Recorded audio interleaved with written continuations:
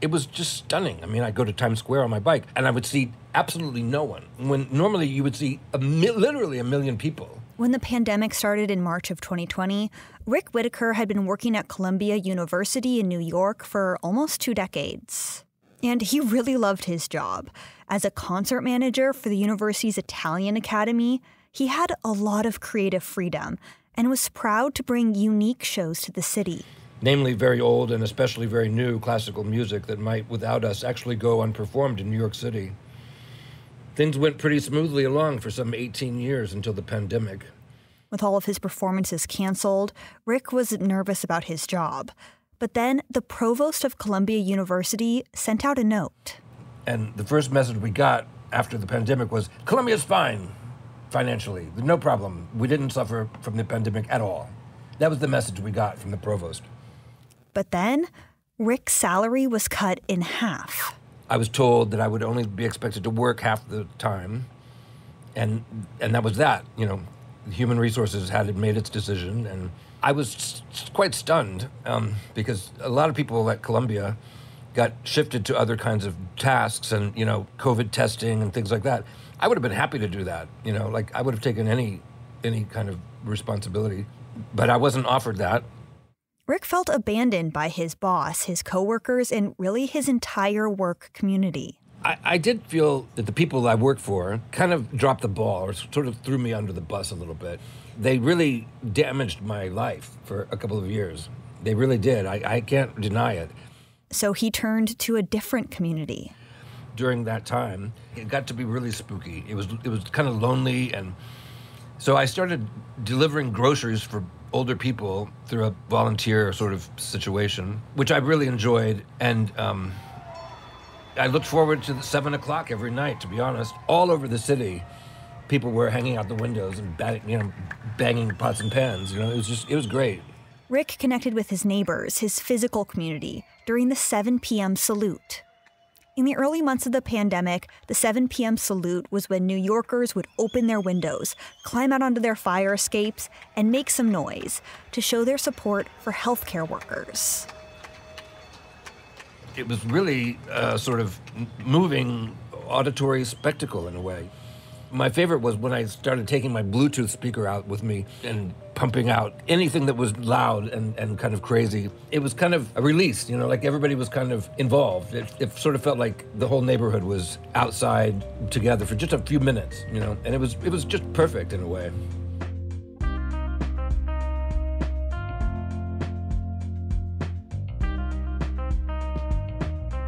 You're listening to Arts, Work, Life, a podcast from the Association of Performing Arts Professionals.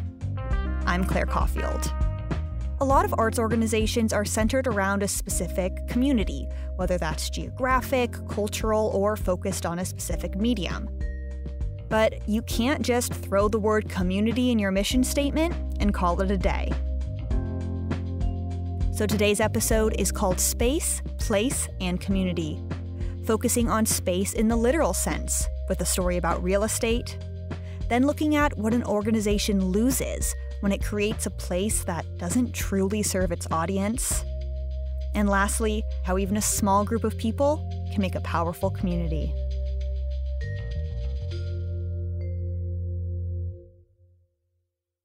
Act 1 For the Record when Taylor Abrahamse was just starting as a musician, they were having trouble finding an affordable place to record their music in the Toronto area. So, Taylor teamed up with a longtime friend to create a place for emerging artists to record their work. They rented a house and transformed a detached unit in the back into a state of the art recording studio. And Silverthorne Studios was born. In their story, Taylor reflects on the importance of physical spaces for communities to meet and how that's increasingly difficult to find. Here's Taylor. We decided to make a pro studio in the detached space behind the house, trying to make a dream space for an emerging artist. It seems like there's an extreme cognitive dissonance between the corporate world of recording and like things like that and musicians. And most studios hadn't really reconciled that. And, and in our case, there there was no uh, obscene rent to pay where we were, which allowed us to keep costs down and, and, and make a space of our quality and caliber more accessible for emerging artists. Um, so that was the opportunity of that space and, and something that was extremely rare in the city. But more what describes the studio is like the people that were there and how it was used. We just had such a warm community around it. And you could feel how the space itself brought out something very joyous and free in people. Uh, so, about six years into running the studio, we had just found out that we had broken even. but literally within a few days from there, I get an email from the landlord saying that they're looking to sell the home.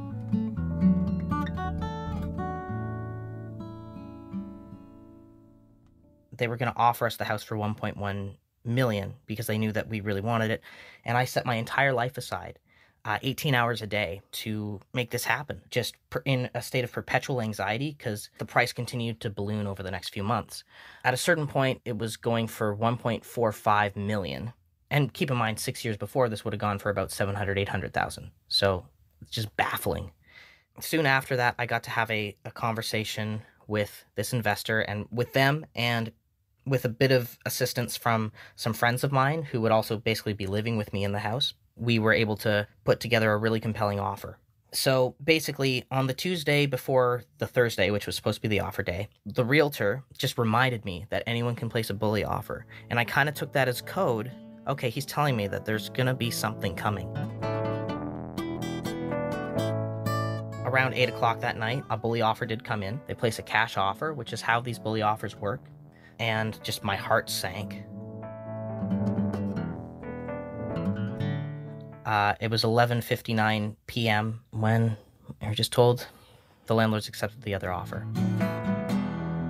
I, I felt uh, just you know shock and disgust and horror and also a sense of like nothing matters except how big your bank account is.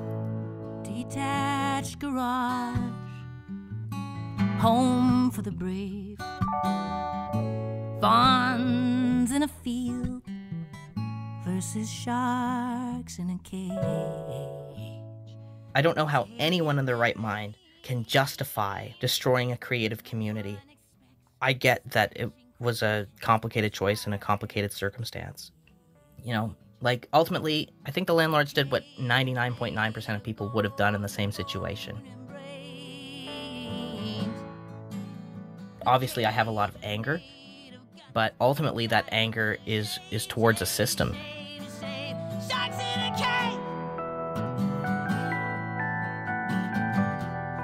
It's been about a month now, and it is something that's painful to talk about because I had my whole life taken from me and my my means of income, and I'm really building from scratch.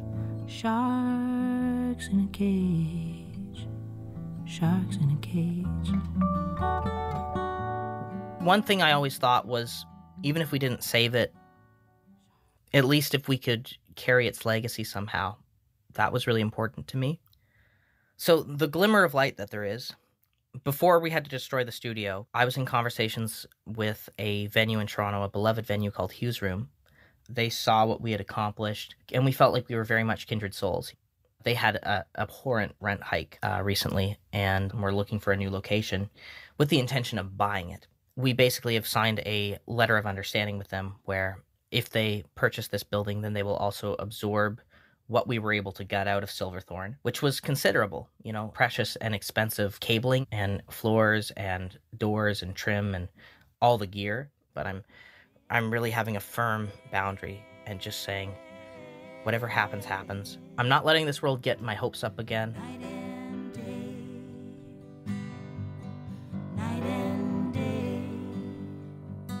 There's a particular uh, George Rafferty song that I deliberately tracked in the studio as one of the last things.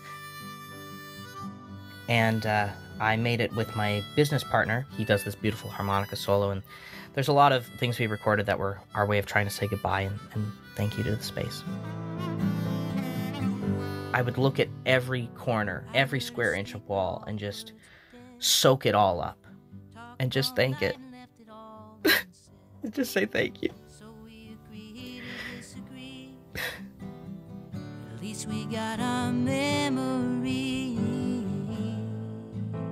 Mm-hmm. What's amazing to me is just getting to know myself as someone who could get that close, who could be an artist coming from a pandemic, trying to buy a home for 1.45 million.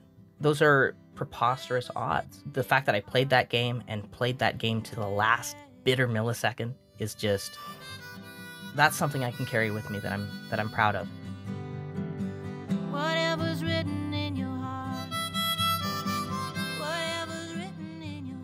Taylor Abrahamse is a singer, songwriter, voice actor, and entrepreneur living in Toronto, Ontario.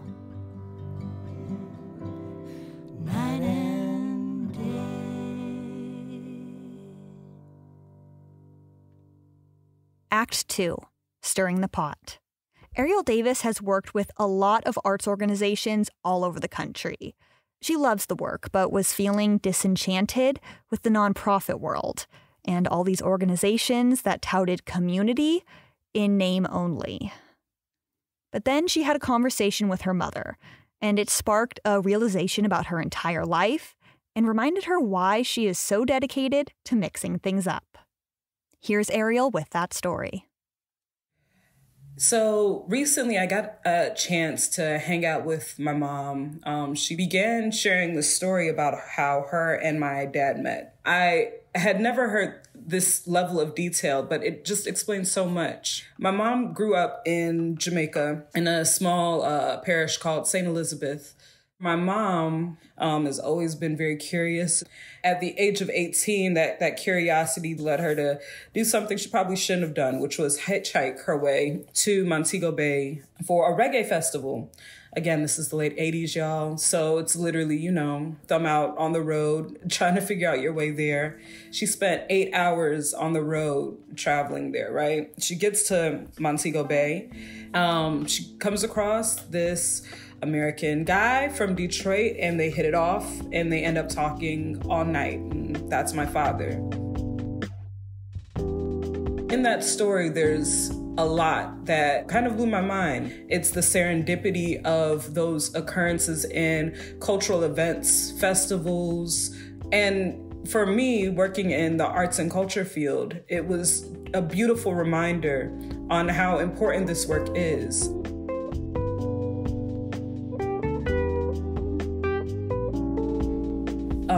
One moment of serendipity that occurred for me was in 2016 in a chance encounter that I had with an old college friend of mine by the name of Quanice Floyd. It was just a happy hour, you know, casual. Uh, again, this is 2016, right? So this was during a time where there were a lot of, you know, conversations around representation um, bubbling up Quanice and I are in a conversation, sharing with one another that we're hearing our colleagues say that there's not enough diversity in the field of arts administration, that there are these opportunities out there, these jobs, but the candidate pool ends up being, you know, quite homogenous, right? And so um, for both Quanice and I, we didn't understand this perspective. Um, for the both of us, we saw so many people, you know, from so many different backgrounds doing this work of cultural organizing. Um, there needed to be a centralized hub of arts administrators that identified as people of color so that we can share with one another resources, opportunities, um, you know, and, and coach one another. So after that chance encounter with Quanice and I, we started this organization called the Arts Administrators of Color Network. And that group uh, grew and grew and grew to be, you know, the organization that it is today. Seeing those folks continue on um, and, and, continue to connect has again just highlighted how um, beautiful or how beautifully serendipity can unfold itself when uh, you put the right ingredients in the pot.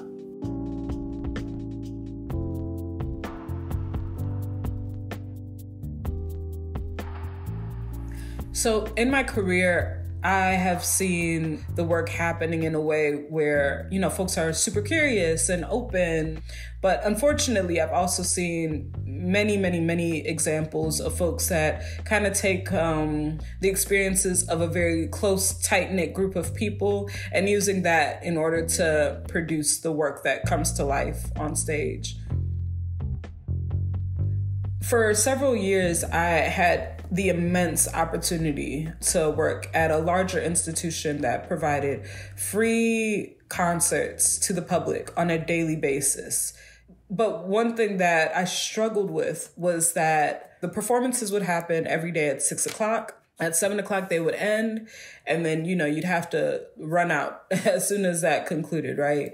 And so for audience members, there wasn't really much of an opportunity to mingle with one another, to mingle with the artists. And for me, I, I felt like there was just so much loss in that.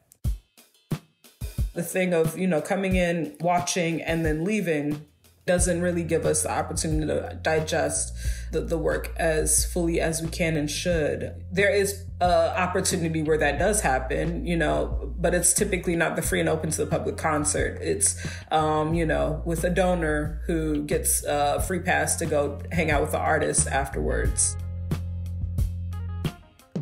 One of the things that happens in the arts is the overusage of certain terms one of those terms is community.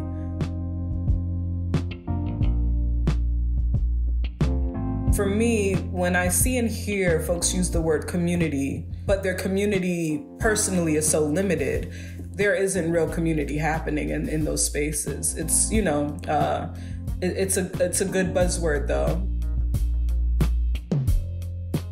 The cultural spaces that we create and the events that we produce are absolutely a reflection of our own social circles. Like, I, I, truly believe magic does not occur or moments of serendipity don't really happen unless there's as varied and interesting batch of ingredients in a pot. If you prefer, you know, no shade to McDonald's, but like, you know, McDonald's kind of stuff, sure, keep it bland, keep it easy, you know? But if you're looking for something that's a bit more quality, yeah, you got to mix up your ingredients. For me, in telling this story about my parents and, you know, these stories around serendipity, I encourage folks not necessarily to hitchhike across islands, you know, without any access to technology. Um, don't do that.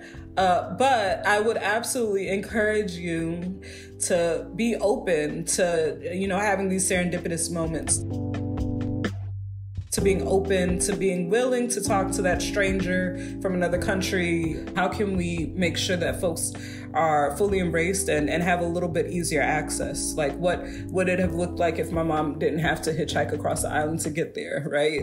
Thank goodness she survived. But, you know, it's the thing of being more open minded ultimately that I think is crucial to us doing the work in the real and true ways that we all ultimately envision this work taking place. Ariel Davis is co founder of the Arts Administrators of Color Network and Director of Communications for the Baltimore Children and Youth Fund. She lives in Mount Rainier, Maryland.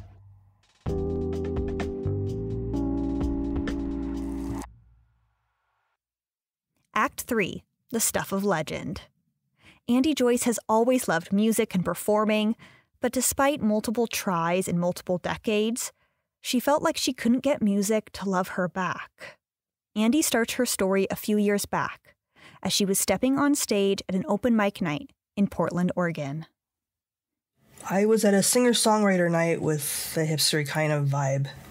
Almost everybody appeared to be half my age, or God's help me, a third.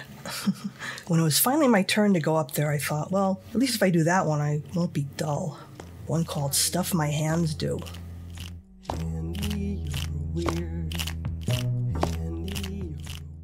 This was an a cappella song that I wrote about flapping with an F. Something I was finally allowing myself to do with my hands after almost killing myself for decades trying to squelch all signs of being autistic.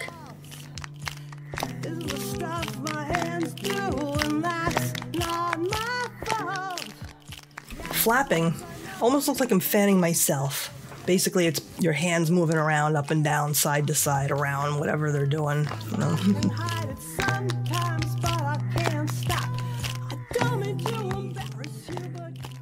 As soon as I went into this song, though, I could tell that this was the wrong material for the room. I did get some people tapping on the table in rhythm, and a few laughs here and there, but overall it felt like they were all looking at me like I was a giant space turd. Except as it turns out, for one person. This would be Kirsten Muir. Her partner, Joey, was also autistic, and when Kirsten told me about that, I understood that my instinct to do that song there was the right one after all.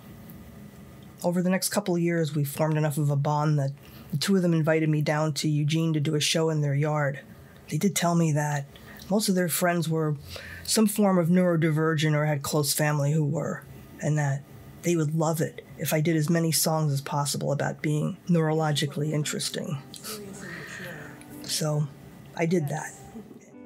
I was actually born 58 years old and now I'm 14. These people were cracking up at my one liners and clapping with me and nodding in recognition. Oh my God, I needed that so badly. I mean, I just really love to get an audience going. It's just, it was just ridiculous because it's like, what kind of autistic am I to, you know? Because we're supposed to hate those things. We're supposed to hate the idea of being in a crowd. We're supposed to hate the idea of those noises. We're supposed to, uh, you know, there's so many stereotypes. When I was a kid, I would watch TV shows, and you know, when I when I would see the the the audiences clapping along, I would just, you know, it just kind of took over me. And I couldn't really tell anybody about it. I mean, this would have been like 1970. in those days, people were still getting thrown into insane asylums for life. you know, people thought I was out there enough already. So, so no, I, I never told anybody.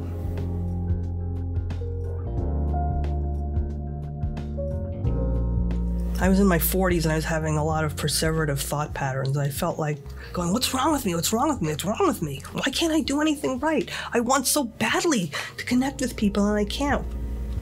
And so I found a therapist who did neurolinguistic programming because that might stop some of the perseverative thought patterns, you know, stuff repeating over and over and over again in my head.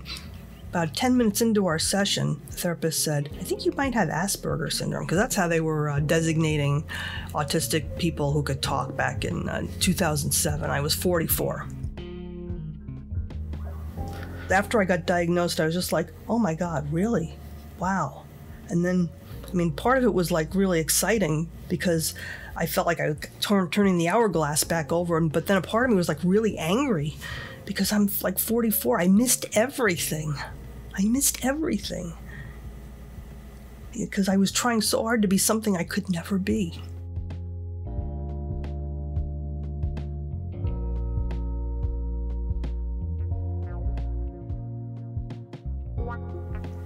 Prejudice, you know, or, or stigma or whatever doesn't have to look like we hate people with disabilities or, or we hate this kind of person or whatever usually it's not overt hate. I mean, sometimes it is, but more, much more often, what you'll get is something it's a lot more insidious. It's more like we like things the way they are, and we don't want to change them to accommodate people we don't know.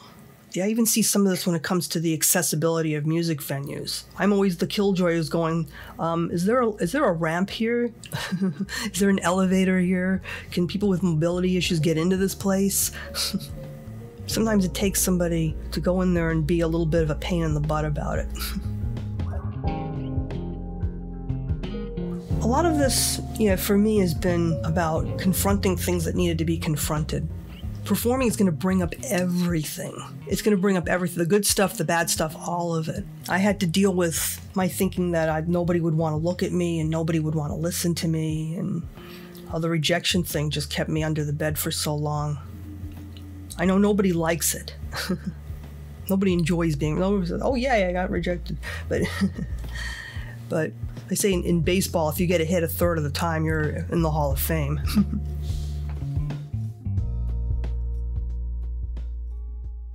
Don't water yourself down to be more quote unquote marketable. You know, look for that outlet, that venue where you can be everything that you are. And do not ever apologize for that. Yeah, since I was a kid. Oh, yeah.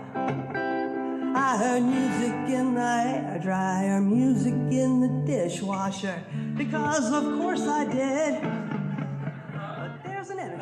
In recent years, I've expanded my social circles dramatically. I mean, people know me now. There are a lot of people say they really like me and they love me and I love them, and it's, and it's great. You know, it's like doing a show in that yard for all these neurodivergent people made me realize that people need this kind of stuff.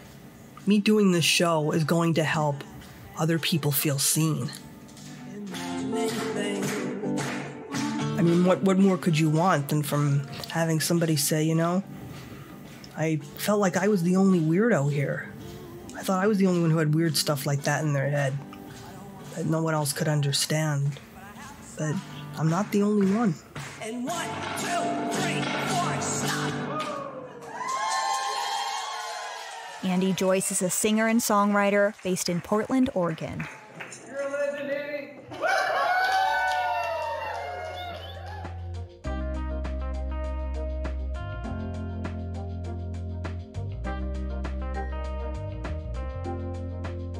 Thank you for listening.